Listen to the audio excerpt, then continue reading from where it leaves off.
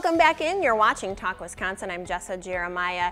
As mental health issues and family stability issues are on the line and on the rise, we're going to check in with an important topic for those of you who may be interested in learning more about child support and what that might look like. We've got, of course, the expert who's joining us once again. Ginger Murray is here with Your Family Law Center to help us tackle this topic. Ginger, thanks for joining us today. Glad to be back. So a big topic to discuss and, and, thankfully we've got somebody with plenty of experience to help us navigate this one. Let's first start with child support and how it's calculated. Sure. Um, so the legislature created these uh, rules and guidelines and so the first thing we do is take into consideration how many children are there that are being covered by this child support order. Um, for one child, it's 17%. For two, it's 25. For three, it's 29. And then we use that percentage and we multiply it by the earnings of each parent for each night that the parent has overnight. So for every night the children are with mom, we look at the percentage of income for dad. And then for the nights that they're with dad, we look at the percentage of income for mom. We compare those two numbers, and whoever has to pay the most is the one who pays that child support obligation. Makes sense. So you've got a, a, relatively simple formula in place. Let's talk a little bit about maybe earning income disparities though. What if the other parent isn't earning as much as he or she could or maybe should be? Uh, right. So that'll come up uh, more often than not, especially while the pandemic was in place. And so some folks didn't have the same sort of earnings, but that wasn't through any fault of their own. And in that case, the court's more lenient and likely to make a temporary adjustment until we can figure out what's going to happen long term.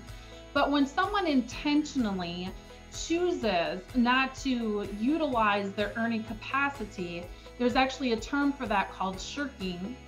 And if the court determines that someone's purposely not making as much as they could, the court can impute what the court thinks is that person's earning capacity. So that the in that equation what the income is is what the person could be earning whether or not they're actually earning that. So the court has a way of dealing with folks who are purposely trying to dodge their child support obligations interesting and of course can be a frustrating situation for the other parent involved. So it's nice to know that there is a way that that is handled regularly if that does occur. Another difficult situation of course can be if payments aren't being made. What happens then?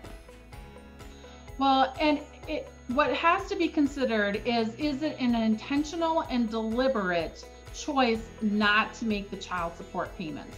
Sometimes there is just a glitch in the system. The employer didn't send in the check. But if there's evidence that the child support payer is purposefully and deliberately not paying the court ordered payment, that's right then for a motion for contempt. And if successful on a motion for contempt, the court can actually order that person to be confined in jail and most definitely can order that person to have to pay the other person's attorney's fees that were incurred to bring the motion to the court.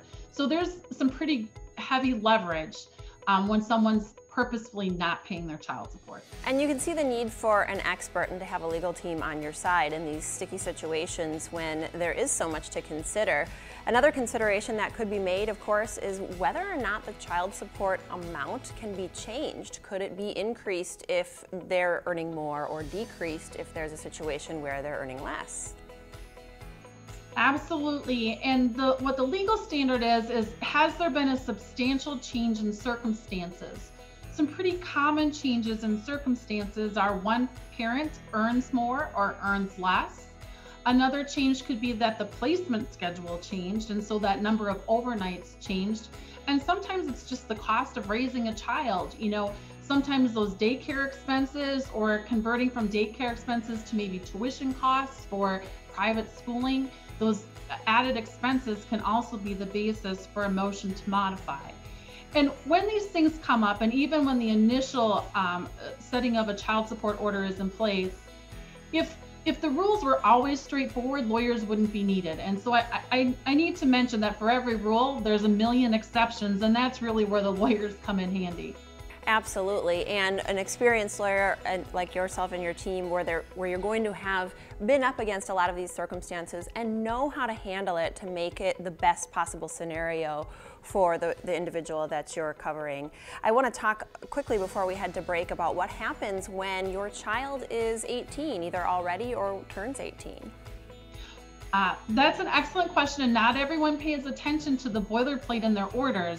But so a child turning 18 alone isn't enough for child support to stop. So if the child is 18 and has graduated high school, then eight, turning 18 is what stops the child support, the obligation. But otherwise, if the child is still enrolled in high school, full time or its equivalent, the child support obligation continues until age 19 or graduation, whichever comes first. But even then, um, it's the parent's responsibility to make sure that the court and the child support agency know that those changes have happened so that the order stops. Otherwise, you can end up with some arrears if you just stop paying without getting the court's approval by way of an order. Okay, well again, there's a lot to know for our viewers out there watching. If you have more questions and would like to reach out to an expert, of course, Your Family Law Center you're seeing on your screen is offering a free consultation. So if you have questions, seek some help, the experts here can help you. Ginger, thanks so much again for your time. You bet. Have a great day.